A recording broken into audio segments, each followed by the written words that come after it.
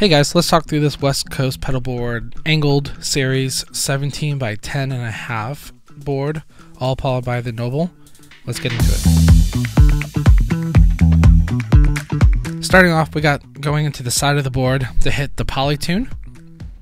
From the Polytune, it's going to go up to the Aguilar, which the Aguilar is being powered by this 18. It's a uh, exotic um, current doubler, so it can switch between 15 and 18 voltage depending what's needed. Then down to the octave, to the eons, to this DCX bass drive, Cali 76 up to the Noble.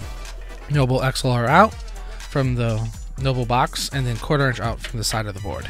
All being powered from the Noble. Let's play through it. Side note, I am no way a bass player, so I will be playing the same riff over and over.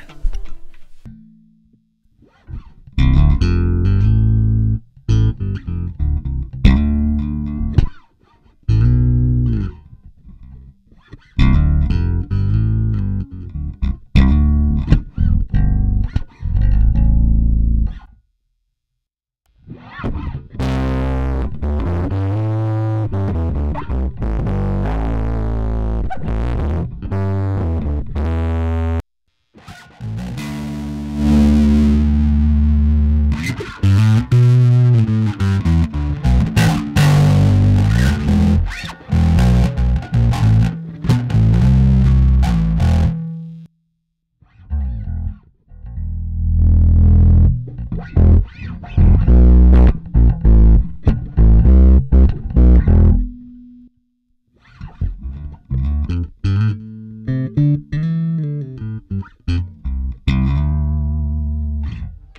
That's it. Super simple bass rig setup.